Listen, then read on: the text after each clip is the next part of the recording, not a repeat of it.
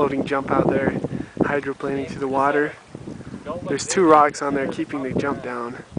There's no way. My bet is when he hits the water, he's gonna fly off. But you never know, so I just told him he could do it.